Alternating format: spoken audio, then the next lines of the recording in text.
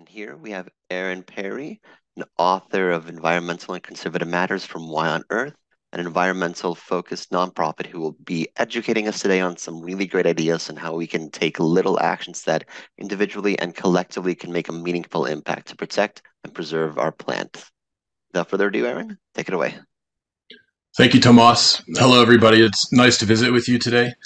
I want to uh, first off thank Leah Leon and Austin March for putting this together, and of course, Tomas for coordinating on the uh, technology front. And uh, just to give you a, a, really brief little bit of information on me and my background, um, I'll mention that I'm also a father. Uh, Tomas mentioned that I'm an author, I'm an entrepreneur, and I'm an, an executive advisor. Um, I write fiction and nonfiction, more nonfiction than fiction thus far. Um, my adult kids are uh, in school. My daughter's in medical school. My son's in architecture and environmental design school. As an entrepreneur, I've launched companies in the renewable energy, the regenerative agriculture, and organic and natural foods spaces, and have worked as CEO and CFO. And as an executive advisor, I work with a variety of teams engaged in what we like to call, broadly speaking, the regeneration renaissance, uh, my background includes uh, being a Gallatin Scholar at NYU and then doing graduate work at the University of Colorado in Boulder, uh, which included uh, sustainable economic development and environmental policy, along with philosophy, literature, and history. So, without further ado, I'll jump into our presentation. And uh, as Tomas mentioned, uh, today I'm going to focus on simple actions for Earth Day and every day that you can take and uh, hopefully incorporate into your day to day lifestyle going forward. Again, thanks to Wilson and Sonsini for hosting me. Covered the background and qualifications. Uh, happy to you know provide even more info. By the way, we're going to leave some time at the end here for questions and answers. Uh, so if you have any, uh, please hold those till the end if you would. And so we're going to focus in on simple recommendations for stewardship, regeneration, and sustainability on the one hand that are good for our planet, for our ecosystems upon which we all depend. And also, many of these recommendations are going to additionally enhance our own health, prosperity, well being, and thriving. And the Y on Earth community, by the way, I should mention, is a action oriented educational nonprofit that I founded and run as executive director. And our foundation is from my book, Y on Earth. And this little mandala here you see on your screen is the interconnected links between the 33 chapters. And as you'll see it going forward, uh, much of the simple strategies and opportunities we have to take in our daily lives are going to connect to a lot of other meaningful strategies and opportunities for enhanced health and sustainability. So, this theme of interconnectedness is foundational to getting into an examination and inquiry and exploration of the personal choices and habits that we each have the opportunity to continue to cultivate and evolve. Uh, of course, one of my favorite uh, uh, authorities on all of this is somebody you might recognize. Here's Yoda saying, "Try not do." And and when it comes to some of the behavior changes that uh, we'll be inviting you to consider, um, yeah, there's some wisdom in this. You know, I, I remember hearing that uh, uh George Lucas was called. Uh, his favorite student by Joseph Campbell, who had, of course, studied traditions and cultures from all around the world. So although Yoda is a fictional character, I think b- brings some very real uh, wisdom and advice to us. And um, Alexander here, who created the Alexander method of acting, has a perfect quote for what we'll be getting into here. He says, People do not decide their futures, they decide their habits, and their habits decide their futures. And one of the things I've been exploring uh, for years now is is how each of us has the opportunity to make these simple decisions day in and day out that not only enhance our own quality of life and personal experiences, but are also very much in service to the broader stewardship, regeneration, and sustainability of our shared planet. And so, with that, interconnectedness community comes to mind, and also oikos. And you may be familiar with this term. Uh, yeah, it's not just a, a, yogurt brand, although a clever uh, name for a yogurt company. This is actually a Greek term, and it's the term from which we get both the word ecology and economy. And oikos means home and has implicit in it a, a meaning of community and connectedness. So back in ancient Greece, we would have referred to our house structure as an oikos, and we would have also referred to the front room where we would receive guests and neighbors as the oikos of the house. So this is a, a, really important sort of etymological background to keep in mind as we're getting into these daily recommendations. I'm just setting some context here before diving into the specifics, and rest assured, we've got a lot of uh, specifics to share with you today.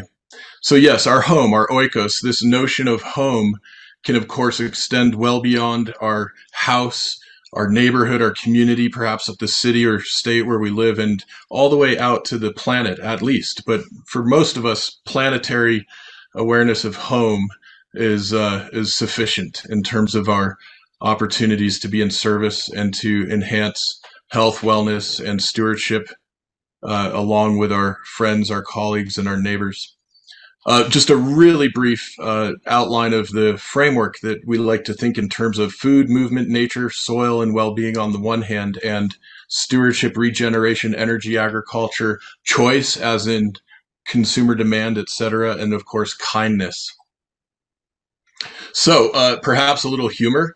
Um, when we're thinking about all of these opportunities, uh, not only uh, are they specifically addressing certain systemic risks that we're facing. And, and folks might think of things like extreme uh, weather as a result of uh, destabilizing climate.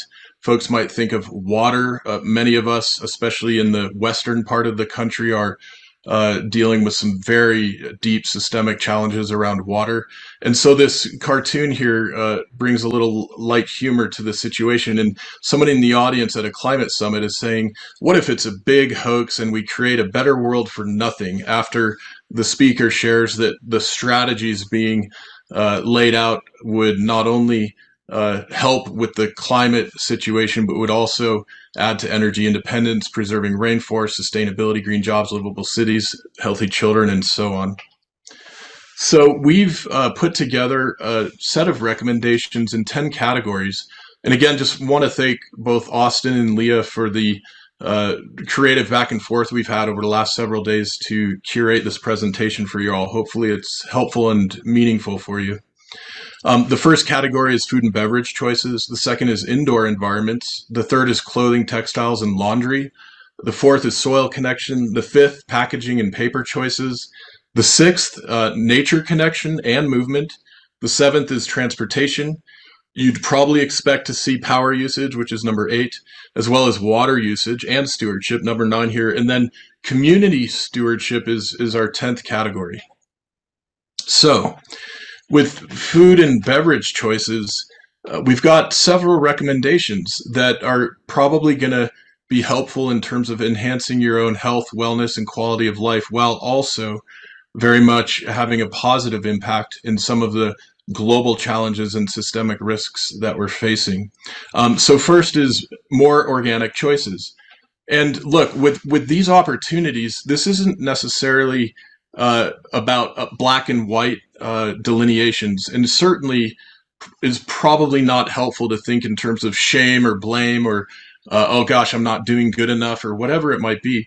And really, the invitation is to take a look at our own lives and examine and determine where we each might be able to do a little bit more, a little bit better, and make some of those incremental changes. And over time, as we get in the habit and habituate ourselves to making those incremental changes, lo and behold, uh, we can very much create a, a, much different outcome for ourselves and for our world in the aggregate.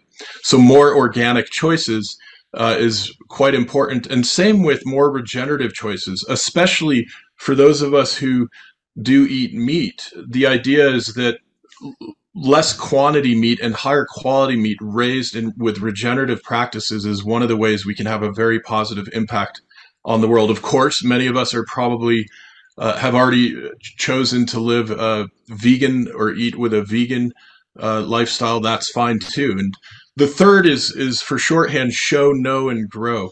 And this is our simple framework for encouraging folks to show uh, the regenerative and organic practices by third party certification. There are a lot of folks out there um, with the USDA organic standards, the uh, Regenerative Organic Alliance, which now has a regenerative organic certification, and others. Um, know is encouraging us to literally know some of the farmers and growers from whom we're getting part of our food and we can do this through farmers markets. Many of us live in places where we can go out and connect to a local farmer and get to know that person and really support their efforts in uh, enhancing the food resilience in our communities and helping to mitigate the food desert issues that we see in many of our communities. And of course, the third is growing, meaning we should each consider growing some of our own food. I know a lot of us, especially attorneys, are quite busy. And as an author and a podcaster and a speaker, I'm also often quite busy. And so it's not necessarily that we each have to be a farmer per se, but uh, many of us have an opportunity to have a little bit of a garden, a little veggie and, and garden, uh, herb garden, perhaps uh, boxes in the windows, or even some indoor plants that we're growing that uh, include some herbs we can put in our salads and that sort of thing. And speaking of herbs and salads, the recommendation for more vegetables, especially leafy greens, really can't be overemphasized. Uh, you'll see that little uh, uh, image off to the right. That's the chlorophyll molecule. And it turns out the chlorophyll molecule is almost identical to the hemoglobin molecule in our blood. And of course, chlorophyll is the uh, amazing molecule within uh, green plants that is responsible for photosynthesizing the inbound sunlight into sugars and kicking off the entire uh, food, soil, carbon cycle that we all rely upon here on the planet Earth. And so, leafy greens, vegetables, very important, not only for the planet, but also for our own health and well being. Um, and then there's beverages. Of course, a lot of water is critical to our health and wellness. And if we're interested in something other than water, the opportunity to drink more herbal teas instead of sugary drinks, sodas, etc., is going to literally enhance our health and wellness while also uh, helping to support the herbal tea companies, the herbal uh, medicine growers who are making their livings providing those really important plants and medicines for us. Uh, when it comes to our food choices day in and day out, again, with a very busy life, there's an opportunity to engage in some batch cooking over the weekend or whatever so that we have easy to heat and eat leftovers throughout the week. And of course, as we'll talk about a little later with the packaging recommendations, to the extent we're able, we can choose to avoid single use takeout packaging. This is another way we can take more responsibility for our impact on the planet. And of course, when we're thinking about our teas and our water and so on, reusable glass or stainless steel water bottles is way preferable than the single use disposable, especially plastic, in which a lot of us are uh, unfortunately getting our water every day. Now, uh, avoiding plastic is important, and this brings up things like single use straws, and you can bring your own and um, carry perhaps To-Go Ware I brought a little uh, show and tell here. This is my bamboo To-Go Ware I keep it in my automobile. I've got fork, knife, spoon, straw, even chopsticks. And uh, so I don't particularly enjoy eating with plastic utensils myself. This is not only a matter of impacts on the planet, it's also a matter of my own personal preferences and enjoyment and uh, the aesthetics of living.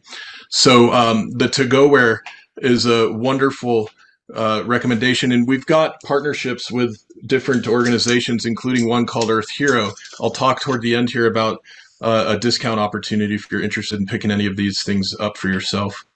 And yeah, just emphasizing the hemoglobin chlorophyll connection with the uh, the green plants. This is so essential for the alkalinity of our bodies and the overall mineralization and, and nutri- nutrition uh, and nourishment of our bodies, our minds, and our even uh, emo- emotional endocrine experiences. So here's a quick link for the uh, Earth Hero discount. You can go to yonearth.org partners and supporters page to get to them and others who are offering special uh, discounts for you right now. The second category, uh, indoor environments, this is a, a great opportunity that often gets overlooked. And some of you are probably aware that uh, in many cases, our indoor air quality can actually be worse than the air quality outside, um, which in some of the cities might come as a bit of a surprise. And there are a number of plants that are easy to grow indoors that are extraordinary in their ability to clean and filter the air. And spider plants, which you see here pictured, uh, Chlorophytum comosum is the Latin name, are the top of the heap, the sort of special forces of cleaning air. And so in your home, uh, in your office, there's even research showing their ability to help mitigate electromagnetic uh, pollution from all of our devices. I highly encourage you guys to get spider plants and others to help with the indoor air quality. Of course, if we're uh, doing any painting or finishing, selecting carpets and flooring or furniture for our offices or our homes, choosing the low and no uh, VOC volatile organic compound products is going to help with all of this as well. Not only the health of ourselves, our family, our children, our pets, but also the broader impacts on the environment are affected here are these choices. And of course, uh, to the extent we're able to, having plenty of natural daylight and plenty of natural materials is going to a enhance our own personal well-being and that of our friends and colleagues and also have better impacts on the environment. When we have more natural daylight, for example, we don't need to have as much electric powered lighting uh, in our spaces. And then if you're in places that are uh, generally hot and especially hot and dry, water features can not only add a nice aesthetic quality, but can also help with passive indoor cooling of the space. The third category, clothing, textiles, and laundry, uh, brings me to a few of my favorites. Um, one is opting for natural materials, uh, organic when possible. We're seeing more and more cost competitive uh, brands out there sharing cotton, wool, bamboo that are organically and or regeneratively grown and produced.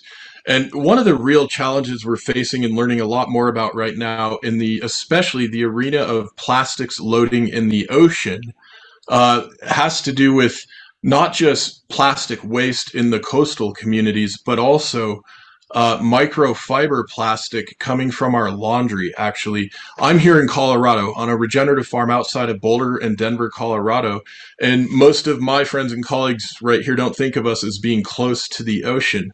But when it comes to our discharges from our laundry, our uh, bathrooms, our kitchen sinks, etc., a lot of that actually is flowing right into the ocean via our streams and rivers. So this is another arena where we're invited to think about these interconnected systems that we're all participating in and part of.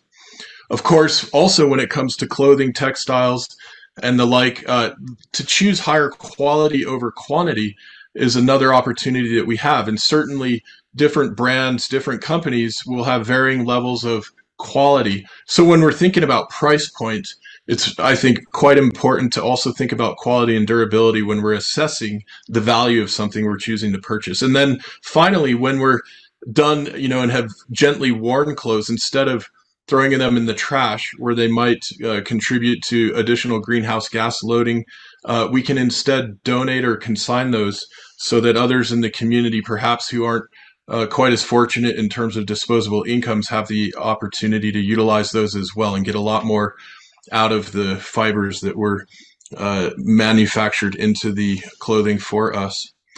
So the fourth category is one of my very favorites, soil connection. And this might surprise you a bit and, and seem to be a bit counterintuitive.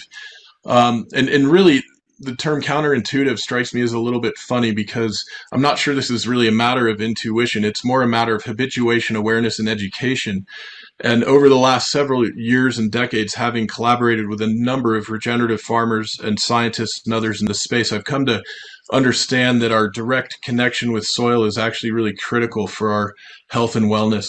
And so, with gardening, the first recommendation here, whether it's extensive, whether it's flowers or vegetables or herbs for the kitchen, or even potted plants on the patio, the balcony, or inside our homes. This direct, literal, physical connection with the soil uh, is known now through our scientific studies over the last couple decades to enhance our serotonin production, our experience of joy, even our stress relief, and our immune system function, and, and would you believe it, even our cognitive performance. This is because the in healthy living soils, there is a vast uh, community of microbiology. Of one handful often will have billion plus organisms, and many of those are small enough to pass through our porous skin membranes and actually get into our bloodstream where they have these different effects on our bodies and on our experiences. Um, composting is one of the number one things we can do with our food waste, our kitchen scraps to reduce uh, greenhouse gas emissions. When we choose to put all of those plant based, biodegradable uh, kitchen scraps in the trash and they go to a landfill and get covered up, what typically happens is they go into a process of anaerobic decomposition, which basically releases methane, a very small chemical, uh, CH4, um, that it easily slips up through the membranes and the daily cover of the landfills and gets into the atmosphere and is a very potent greenhouse gas, some 20 to 25 times more potent than carbon dioxide. So, uh, on the one hand, we want to avoid putting these compostable, decomposable food scraps into the trash, and on the other hand, compost them because instead they go into a an aerobic decomposition process with the microbiome and actually contribute to building soil, which enhances the virtuous cycle with plants and trees of carbon sequestration through those uh, green plants' process of growing and pulling carbon from the atmosphere and putting it in the ground. We like to say where it belongs. Having house plants is another way. When we're in our gardens, our yards, our neighborhoods, having more pollinator habitat is really important. For those of you who might be following it, our invertebrates, our insects, our pollinators are in dire situation all around the world. And the more habitat, chemical free, safe habitat we have for them, the better. I mentioned the soil building and how important it is. And if you're looking to dive even more deeply, you might look into using biodynamic and per- permacultural and other techniques and strategies in your yard, your neighborhood, your community. Uh, when it comes to the carbon cycle, just a real quick uh, point of information for you guys. Um, since the beginning of the Industrial Revolution, we have increased the CO2 concentration in the atmosphere well over 40%. And if you were to think of this in terms of uh, car, uh, tr- train cars, rail cars full of coal, imagine a train uh, holding just coal that has so much coal, so many cars, it would wrap around the equator of the Earth over 1,000 times, 1,017 times. Now, these figures are actually a few years old now. This was pre COVID 2019. So, just in the few years since then, uh, actually since 2016, we've seen another 5% increase in atmospheric carbon loading. So we know there's much to be done, much that we need to do to reduce the carbon loading of the atmosphere and actually pull carbon out and sequester it. And this simple image uh, in the middle here shows how this is happening with the plants and the trees. And we can contribute to these virtuous cycles of natural carbon sequestration at scale. And it turns out that increasing soil carbon by 10%, a mere 10% worldwide, is equivalent to sequestering all of the carbon we've released into the atmosphere since the beginning of the Industrial Revolution. Just to put it into context and to provide a bit of scope for our opportunity, our challenge, our call to action as a human family worldwide 10% increase in soil carbon. So, this also brings me to one of my other favorite uh, etymological tidbits, which is the term humus from the Latin, the Proto Indo European, connected, of course, to our word human, as well as our words humor and humility.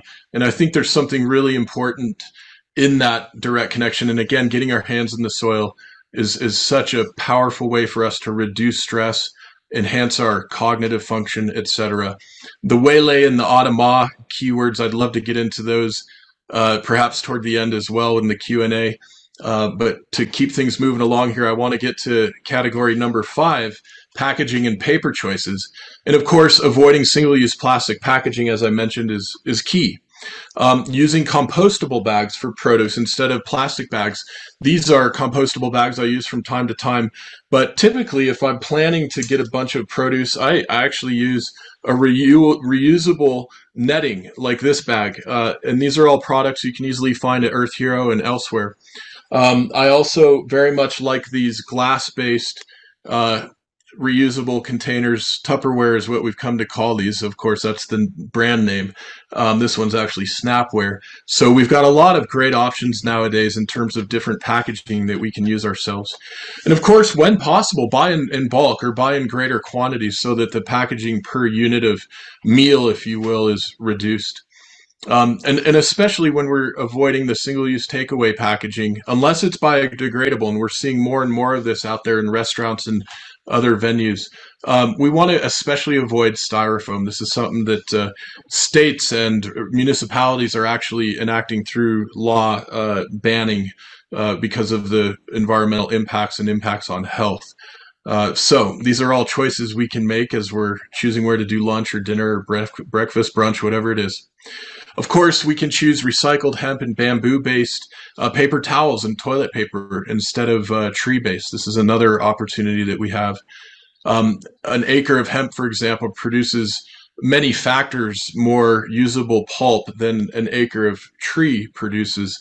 And this is uh, assessed over the life cycle of um, fast growing pulping trees. So many years, hemp produces much, much more usable material for us. And many of us are aware that much of the uh, materials, the fibers, the cordage, etc., that we were using in the 19th century and before that was hemp based.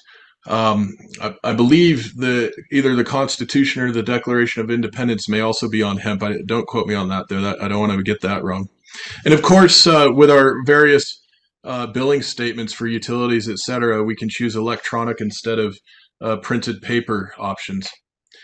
So number six, the nature connection. This is really quite one of my favorite. You may have even seen today in the uh, either Washington Post or New York Times was an article about how uh, exercising outdoors instead of indoors actually has additional ancillary benefits for our health and wellness. So something to consider there. And when we go to the woods and connect with a tree, this may sound corny, but I really encourage folks, especially executives and professionals, to befriend a tree. And there is something very special that occurs when we create that direct relationship. We might recall something like this from our childhood, but I imagine uh, many of us may be out of practice now in our busy adult years. Um, there's a Japanese tradition called Shinrin Yoku, which is known as forest bathing. And the practice literally is to walk into the woods, find a nice spot to sit down, and just sit there for a while and just observe and take in and listen and feel and smell all the goings on with the insects, the critters, the birds, the trees, the plants, etc. And beautifully, we have ample uh, scientific research showing how these practices substantially reduce stress and reduce stress hormones in our blood, which for many of us is perhaps one of the biggest health uh, issues and vectors that we have to manage for ourselves. And so, walking outside in nature, whether it's a park or a forest, is also giving us the health, the cognitive, the stress reduction, and the immune system benefits. Um, and, and is literally helping to mitigate the acceleration of aging that is happening, especially to us who are sitting so much in our work. I'm one of those. Um, and I understand through research I did for the book Y on Earth that the American Medical Association recently announced that in the United States, in the aggregate, we're seeing worse impacts from prolonged sitting in our population than we're now seeing from cigarette smoking. Now that there might be some good news, silver lining in that that the cigarette smoking's down, but this prolonged sitting is actually a, a very significant uh, source of physical maladies for many of us. Something to consider. Yeah, so this relationship with mother Mother Nature, again, as corny as it may sound, is imperative, and more and more scholars and researchers our understanding that our connection in nature, even visually looking at forests, is essential for our prolonged health and well-being. Some of you maybe have heard of nature deficit disorder. This is now considered real within the scientific community, the psychological and community services arenas. It's important that we're connecting with nature. So number seven, transportation. Of course, walk, right? Uh, how many of us uh, could benefit from a little more walking in our days? And I imagine some of us are using devices like Fitbits, et cetera, to even measure our daily walking uh, successes. And uh, one of the things I'd love to mention is joining the Far Away Club. So I imagine some of us, when we go shopping on the weekend or what have you, might drive to the store and feel like, yes, we've won if we get that parking space right up next to the door. But really, what have we won other than uh, missing out on another couple hundred steps that we could have taken at that moment by parking at the far end of the parking lot? So, a very simple hack, so to speak, that you can incorporate pretty easily. Of course, enjoying things like public transportation and carpooling from time to time or perhaps regularly is another set of opportunities that we have. And if you're in the market for a vehicle, you might consider a hybrid, an electric vehicle, or a super efficient vehicle uh, with your next vehicle purchase or leasing. So number eight, power usage. Yeah, you know, turn off the lights when they're not in use. Um, many of us can maybe recall our our parents encouraging us to do this, or have uh, inculcated this into our own children. This is important and a good practice. I think it's also an opportunity to feel a little bit more gratitude for all of the comforts and technology we get to rely on day in and day out. Most of us, at least in this country, uh, don't have too much in the way of rolling brownouts and blackouts and energy supply disruptions. Typically, we get that from time to time with storms, et cetera, but typically we uh, can pretty well rely on our energy in this country. And of course, uh, we can reduce our energy usage by using uh, energy efficient light light bulbs. One other thing you might not have thought of is washing our clothes on cold cycle instead of warm or hot reduces energy loading, and it actually, in most cases, also means we're going to get less wear and tear with our clothes and get more use out of the clothes before we uh, downcycle them, donate them, uh, consign them, what have you. And so finally, when it comes to the laundry again, we can choose to air dry our laundry um, using that great thermal nuclear power plant that we all rely on, also known as the sun uh, and wind. And if we're living in dry climates where it gets hot or, or regardless of temperature, really where we're living in dry climates um, by uh, air drying our laundry indoors, we can actually help to humidify our indoor spaces this way. So water usage. This is another one of my very favorites, and there's a lot we can do here, including um, using non-toxic, biodegradable, and organic soaps, shampoos and conditioners, lotions, etc. And you know, I often joke, how many of us in the morning before work might jump in the shower and lather up with some form of uh, potentially even carcinogenic, uh, maybe less expensive, but potentially toxic soap and shampoo and then rinse that off and jump out and dry off. And then suddenly we're putting on lotions and other things that might also be uh, not very good for us or the environment in terms of their toxicity profiles. Um, and there are a number of organizations that have provided uh, extensive research on all of this. I encourage you to check out our podcast. I'll speak to that at the end. We've interviewed a number of folks on that front. Also important is using the same non-toxic, biodegradable, and organic dish detergents, cleaning products, even garden and lawn products. Uh, this is another way we're affecting water uh, through our different effluent streams. And of course, in terms of conserving water, we can use low flow shower heads and faucet attachments, especially in the more arid regions. This is increasingly important. And in our gardens outside our yards, we can use drip irrigation, gray water, and even rainwater catchment, especially in arid climates. And the rainwater catchment, interestingly, if any of you are following the uh, Colorado River water compact uh, challenges that we're facing in the West, um, different states actually have different rules and regulations regarding water catchment off of our roofs. And some of us worked here in Colorado to change our framework a few years ago. So you might need to check into your local rules and regulations on water catchment, but we have a number of different water efficient strategies for our gardens and our yards. And finally, community stewardship, which is yet another of my very favorites. In addition to the things we can choose in our daily habits, there's also a lot we can do connecting with others.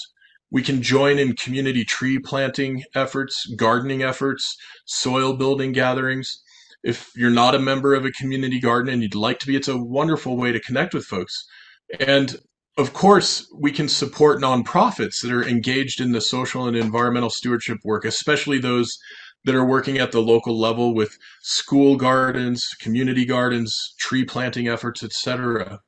And at those community gathering uh, sessions, we have the opportunity to connect more with people outside of our immediate demographic and affinity and neighborhood groups, which is another way we can enhance and enrich our quality of life, learn from others, come to understand other perspectives, perhaps even understand other ways we can help people in our communities. And this is also a call to action to consider engaging more in stewardship philanthropy. Uh, many of us are uh, stressed by our money, our earnings, our spending, our savings, our retirement, our future. But I think it's important to step back and consider that globally speaking, all of us are so very well off. And I was just sharing with my son, who's uh, a junior in undergraduate school studying architecture and environmental design, that something like six or seven percent of people worldwide uh, have a college education. So it's something to really keep in perspective. The blessings we have, uh, the opportunities for feeling and expressing gratitude, and the opportunities we have to help others who aren't quite as fortunate. And this sense of ethos, of ethics, brings me to one of my very favorite slides. When we look at the global systems, whether we're thinking about energy and climate, we're thinking about water and soil and food, we're thinking about chemicals and toxin loadings throughout the environment and in our own bodies, you know, we're seeing a lot of interconnected systemic risks. And there's there's easy temptation, especially if we're, you know, busy with our professions and not necessarily paying attention to all of the emerging science and understanding around this that uh, we, we can think that we're not really ourselves at so much danger. And this slide with this boat out in the middle of the water, no land in sight, is a, is a really great way to depict with a little bit of humor something that's really not that funny. That so many of our fellow brothers and sisters around the planet are dealing with extremely challenging situations and really need our help. And so the guys at the high end of the boat here are saying, "Sure, glad the hole isn't at our end, right?" And I think the uh, the message, the implication here is probably pretty clear to most of us. So we have a choice, and in taking better care of ourselves, our environment, and each other in our communities, we truly have a, a profound opportunity to affect the immediate, the near term, midterm, and long term futures of our own experiences and those of our kids, grandkids, and the generations to come. To conclude before the Q&A, I want to just mention that we've got several resources for you. Um, along the bottom here are images of the various books that I've written. Uh, the one in the middle called The Biggest Deal, you may notice says forthcoming underneath it. This is a book on regenerative finance, social enterprise, stewardship, philanthropy, and ecoscene economics that I'm writing and for which we've invited a handful of VIP thought leaders to contribute essays like John Perkins, Hunter Lovins, David Korten, um, Ruby Au, Tom Chi at At One Ventures in the Bay Area. You may know about Tom's work. He's deployed over $100 million into sustainability technologies and many others. Um, so that's going to be a great resource. On the left is Y on Earth. Uh, the subtitle is Get Smarter, Feel Better, Heal the Planet. And for you guys, with our special gathering today, we put together uh, an offering where you can get all of these um, in ebook form for free using the discount code gratis at yonearth.org. Just go to the store section, you'll see the books there. Um, so, Y on Earth Viriditas, my new eco thriller novel that gets even more deeply into the biodynamics and regenerative um, practices, the nature connection. The main character is a super smart computer scientist and entrepreneur, and she has to flee New York City, kind of like a Dan Brown, Da Vinci Code energetic and flees out west to Colorado. A lot of the story takes place in Colorado. That's available as an ebook. So is our Soil Stewardship Handbook. This is the simple, down and dirty intro to soil stewardship. And then we have a series of children's books celebrating water, celebrating soil, celebrating honeybees. In each story, it's brother and sister and their ethnicities change from book to book. So you can get all those in ebook uh, format for free with the code gratis.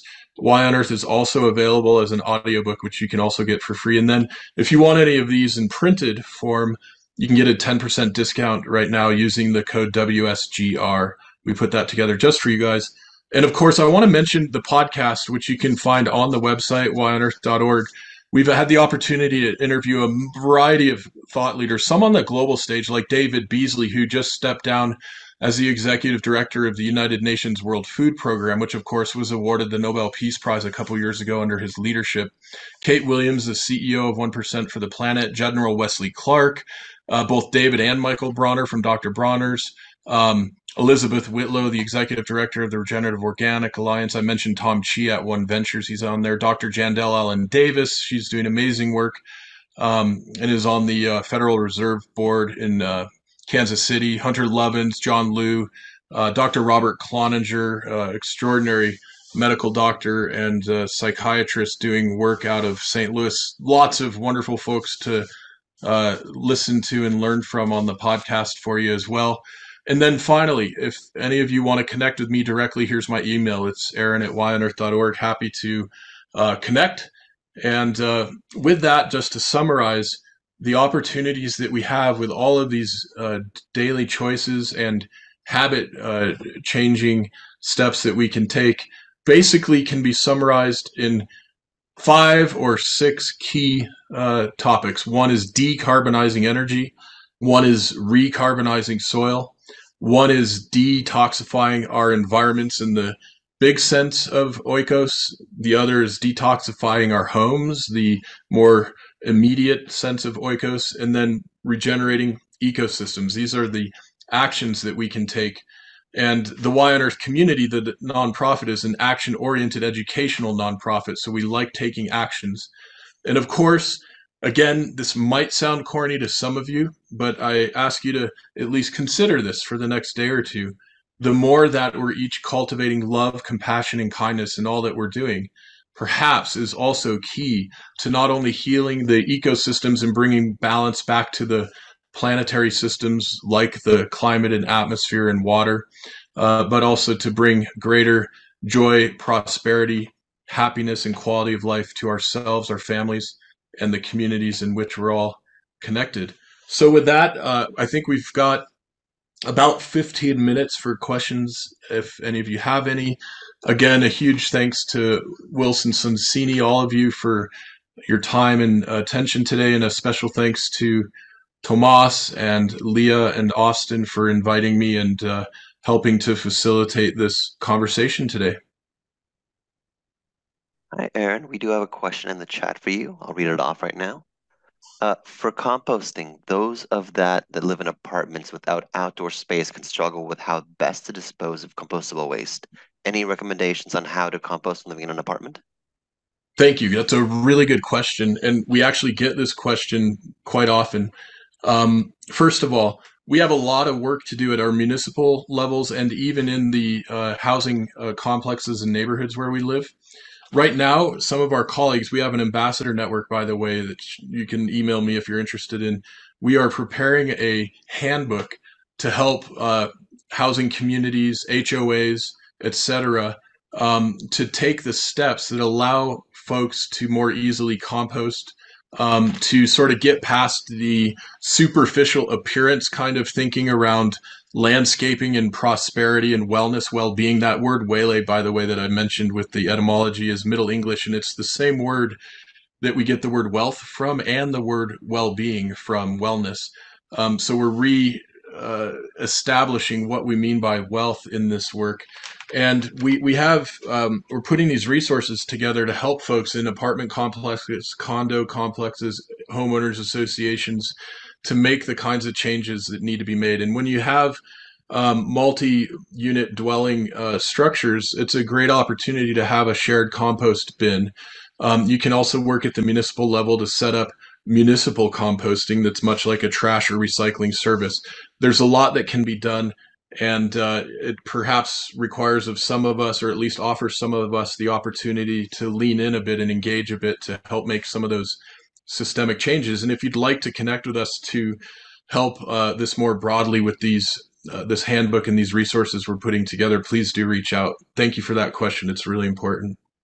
By the way, if none of those options are available to you, there are some in vessel um, kitchen scale, under the sink scale uh, worm composting um, devices that you can get. They do require a little bit of maintenance. There are some other devices that are perhaps a little less maintenance. Um, so there are options, especially for those of us that are in the more urban settings. And many of us uh, may be living in high density situations where there's a a community garden not too terribly far away, and often you'll see uh, compost bins uh, there or compost piles. So you know, once a week, you know, keep things in the fridge so they don't stink. Whatever you can uh, go out and, and, enjoy a little walk through the community garden and maybe meet a new friend when you're there too. And perhaps you might even hear some birds chirping as well. Thank you so much, Aaron. If anybody else has any other questions, please feel free to unmute yourselves and ask Aaron directly. Hi, Aaron. Um, my name is Julia. I actually have a question about packaging. Do you know if there are any initiatives on holding grocery stores or producers responsible for their own plastic packaging and being able to take produce or whatever it is that's packaged and bringing it into your own reusable storage? Thank you. Great question. Um, yes, there there are a whole number of initiatives nationwide and even internationally. Uh, much of this is being done at the municipal level. Um, here in Colorado, we actually had a handful of municipalities over the last few years uh, either impose a uh, small tax on uh, single-use plastic bags and so on, uh, or uh, ban them outright. And, and just in the last year or two, our, at the state level, uh, we've created a ban so that we're basically phasing out the use of single-use plastic bags. I think there's been some really good um, progress and innovation in this arena on the West Coast as well. I haven't been tracking this comprehensively, so I can't give uh, the full picture answer, but definitely am aware of many success stories. And uh, I think there's plenty of opportunity again here for uh, each of us to lean in and do even more in the other communities where perhaps we're not not quite as far along yet. And yeah, one of my favorites um, is my reusable cro- grocery bags these bundle up so easily. I'm showing you on screen here. And uh, so i can easily keep a few of these in my car. And when i run into the store i've got bags ready to go. So they're they're not the big bulky ones. I don't particularly like those. They're they're very easy to use and compact easy to tuck away. So we do have options. And in many of our communities we have more work to do. Thank you for that question. Yeah. And then just going off that briefly like let's say you're buying butter lettuce and it comes in a plastic container. Do you think there will ever be ever be a day that we can take it out of the plastic container and make the grocery store be responsible for recycling and handling the plastic they provide us as consumers? Yeah, it's another really great question. And uh, I'm actually very fascinated by packaging and materials generally. Um, one of the chapters in Y on Earth is called Make and gets into all our manufactured materials and identifies some of the really exciting emerging trends. I'm sure some of you are tracking this with some of your clients, where we're shifting from uh, petroleum based plastics into bio based and biodegradable uh, polymers that behave like plastics, and also uh, things like uh, fungus uh, based um, packaging that is even more rapidly uh, biodegradable. And so I'm I'm really thrilled and optimistic that we're seeing some some rapid advances in the packaging arena presently.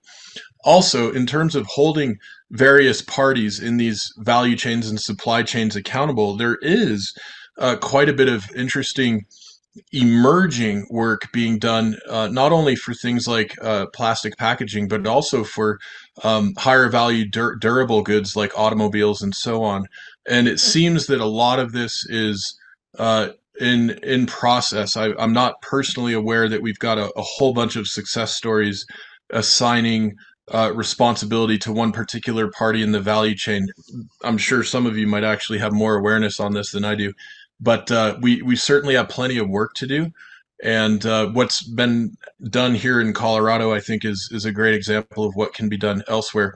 Um, and yeah, it's regardless of where we're at in terms of the the governance, the rules, the regulations, and the uh, stores taking responsibility themselves. Of course, there's a lot we can each do in our own decision making. I personally love when I go shopping. I love going to uh, natural grocers. It's called. They're in many states, and they have an entirely organic produce section, and most of the produce is not in packaging.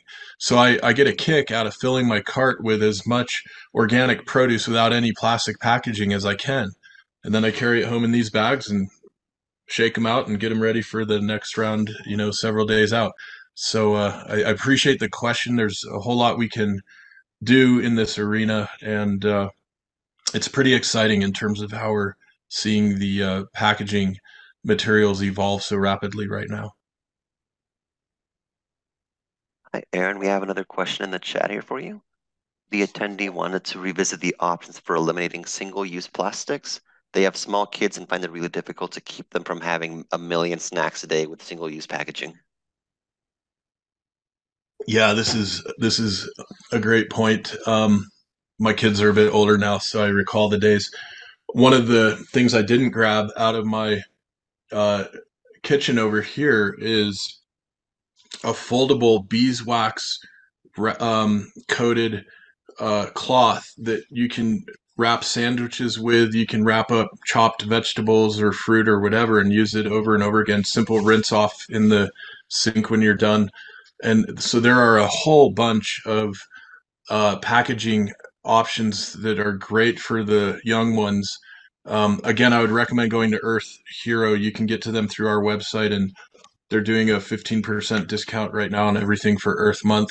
They've got all kinds of great uh, resources for that too. So I would really encourage folks. I know it might sound like it's going to add, a, you know, a little extra work, but um, you might consider uh, getting some things in bulk and chopping or divvying up into those uh, reusable packaging solutions instead of buying you know it's it's wild some of the ways we see the single use wrapped and packaged in plastic and that's bundled with some more wrapped in plastic. And if you're buying a bunch of those in a a, a bulk offer or whatever even that might be wrapped a third time in plastic. And so certainly we have tremendous power in our consumer choices. One of the things i love about getting into the microeconomics of the food industry in particular is that many of the stakeholders in the food value chain supply chains are operating on quite thin margins.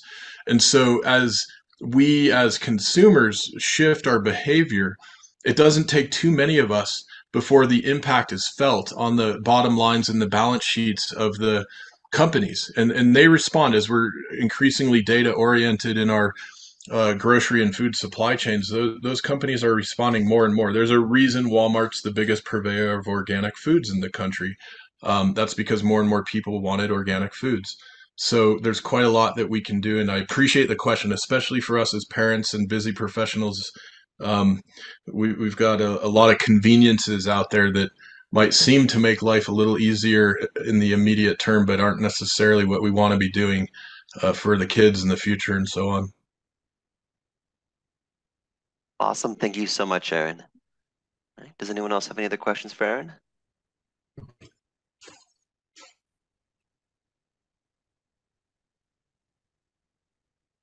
All right. I also don't see any other messages in the chat, so I think that should be it. Thank you so much for presenting today for us, Aaron. Thank you, Tomas. Thank you, everybody. And uh, yeah, please reach out if you'd like to connect. Take care, everybody. Happy Earth Day. Happy Earth Month. Happy Earth Year, Happy Earth Century.